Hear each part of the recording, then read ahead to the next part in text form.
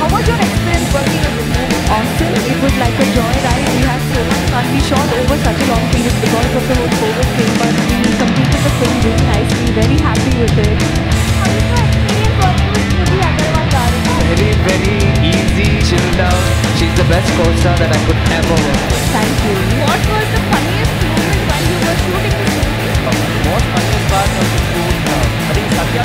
సత్యతో shoot చేసిన అన్ని scenes Satya వాళ్ళు బాగుండేది. So Satya throughout film ఉండే character Satya was on the floor it's always fun and Ashok garu చిన్నప్పటి నుంచి అంటే సినిమాల ఫ్యామిలీ లేకపోయినా సినిమా చేయాలి హీరో అవ్వాలి అని ఉంటుంది. తెలిసిన వాళ్ళందరూ కూడా మీరు హీరో ఎప్పుడవుతారు ఆ, వీళ్ళందరూ ఉన్నారు కదా అంటారు.